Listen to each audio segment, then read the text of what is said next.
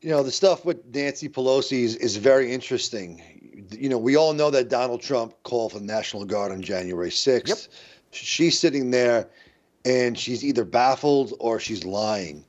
The more I think about this, you know, I, I truly wonder if she was also lied to. Like, I'm just going to play devil's mm. advocate here for a minute. Okay. Look, you know, she's she's been anti-Trump. She's as anti-Trump as anti-January 6th as one could potentially be.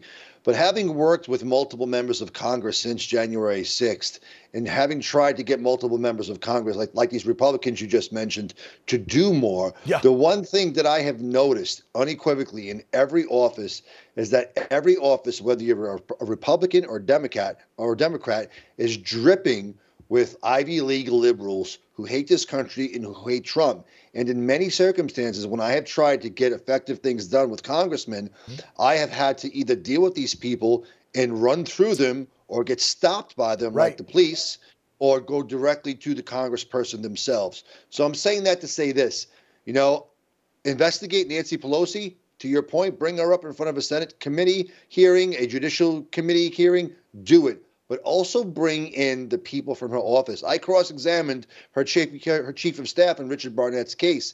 She lied on the stand. She perjured herself. I caught her dead to rights in front of the entire court. Oh. It's in the court record, right? Yeah. She knew it was coming. She walked to work on January 6th. I said, why'd you walk to work if you didn't know anything was going to happen? And she lied. She lied. And we caught her. It was a big moment in that trial. Unfortunately, it didn't matter for Richard.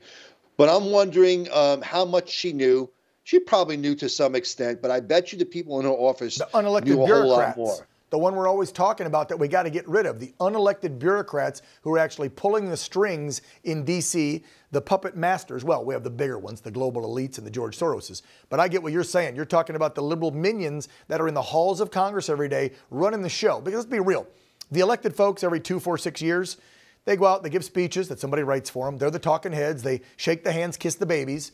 But then, do they write their speeches? Do they write their policy? Did they go out and actually talk to people a lot? No. A lot of the America First folks that I know and trust do, but most of the Demis and most of the RINOs do not. It's the bureaucrats running the damn show. When you juxtapose what he has done against the crimes of all these other people, especially during the George Floyd riots or oh. Dylan Shakespeare Robinson, who threw the love. Molotov cocktail into the third precinct, right? They didn't get this kind of time.